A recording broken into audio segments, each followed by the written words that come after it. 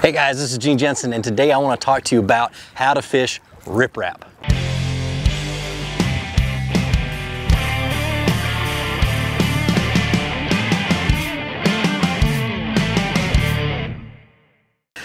So basically I, I throw a, a, crankbait is what I do or a swim, spinner bait, something moving. Uh, I try to bounce it off of as much of uh, the rock as I possibly can. There's always a place where the rock just stops out deeper and I try to identify where that is first. Right now this one is at about eight feet deep um, so I'm throwing a crankbait that can get down to eight feet pretty quick. It's actually a 10 to 12 foot diving crankbait. Um, one that can get down there pretty fast and bang off of those rocks. That's the key is you want to bang a moving bait off the rocks. If it was a spinner bait, I'd be slow rolling it and trying to bang it off the rocks. Get that reaction bite off of the fish that are down there on that, on that rock edge. So the way I fish crankbaits um, is I either tie on a, a, square bill or a deeper diving crankbait depending on the depth and I try to parallel it as much as possible.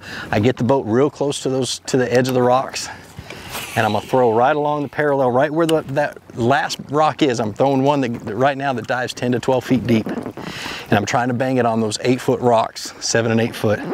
And as I bang a rock, I kill it. And I just let the bend of the rod come back to straight. So I'm not really letting the bait stop, I'm just letting it almost stop. And as you bang into those rocks, that bait goes and it bounces off a different direction and it causes a reaction strike from a bass if it's sitting there. Just throw it out, reel it on down till you bump something and then start to reel real slow and you're bouncing it off of all those rocks. And in darker, dingier water, that makes plenty of noise for the to attract a fish and try to figure out what the world that thing is going by him. Now, did you guys see that? Now, if you get hung up, I'll, i love crankbaits because they'll float. So if you get hung up and you can't pull it loose, just let slack in the line and give it a second or two. And a lot of times that bait will back, that crankbait will back up out of that little crack or whatever it got lodged in and, uh, and it will get itself loose and then you can start fishing again. Now, another way I like to fish it is with a shaky head. This is tough. You're gonna lose a bunch of them, but uh, I have, I've literally won tournaments doing this. And you don't fish it like your typical shaky head. You don't let it sink all the way to the bottom and shake it because what it'll do, it'll work its way into the cracks in the rocks. So what you do is you throw it out and you have to have a good sensitive rod. That's why I love to have braid on my, on my rod as sensitive as you can get because what I'm doing is I'm, abs I'm just, as soon as it touches a rock, I pull it up. As soon as it touches another rock, I pull it up. I'm working it very, very fast along as close to the rocks as I can get without getting hung up.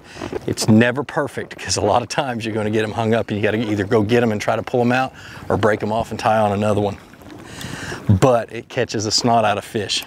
So basically I'm gonna throw it out, keeping my line as tight as I can. I feel for it to hit a rock and then I just shake it and, and work it down those rocks all the way to that outside edge in six to eight feet of water.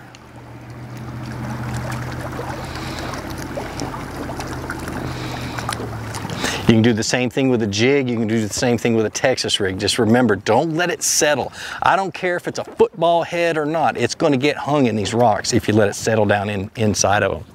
And usually when the fish are up on those rocks, they're feeding. So they're going to hit it pretty quick. Now, there are plenty of other ways to fish it. I'll throw a Carolina rig along, along, that edge. That outside edge is key, especially when the sun gets out and the fish move off of those rocks. They're no longer up in them feeding up shallow. They'll move out deeper. I'm gonna throw something like a Carolina rig or a deeper diving crankbait or things like that. Buzz bait. Uh, one of my favorite crankbaits to throw uh, up, in, up into the rocks is a square bill because those square, that square bill deflects off of those rocks really, really well. So um, moving baits, and jigs and jig heads, just be very careful about letting them settle into the rocks and be ready to get things unhung. So that's a short one, but that's how I fish riprap. Um, it works. The fish love these things, love this rock all year long. Uh, sometimes they're in the mood to bite and sometimes they're not, but it is, it's one of my favorite ways to catch them, especially when the bite's tough. Well, like I always say, be sure to introduce somebody to fishing. Introduce them to my channel. Let me help you teach them how to fish. Check out my Fishing Shirt of the Month Club. I'll leave the link in the description. More importantly, get out on the water, go and catch some fish, and have a great day.